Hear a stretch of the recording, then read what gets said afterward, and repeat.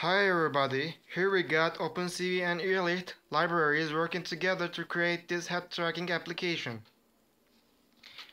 Here we have our OpenCV window showing us our detected blobs and on the background we've got Irrlicht game engine rendering game environment and on the top we've got this webcam that's modified to filter out most of the visible light. Let's test it out. I'm gonna first test it out with the flashlight of our camera.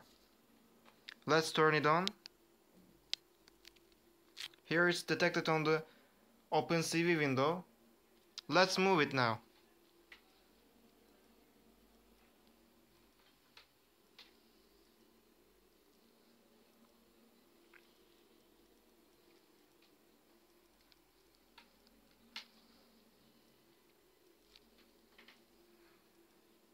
So that's it with the flashlight. Let's test it out with an infrared light.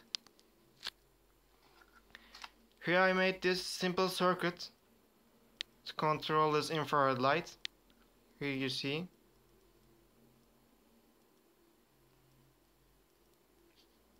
So let's test it.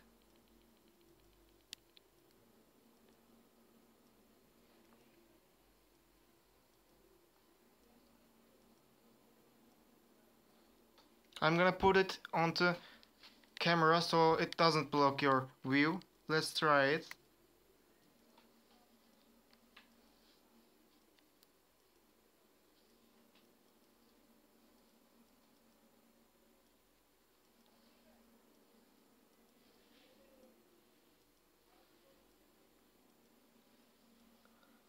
That's all. Thanks for watching.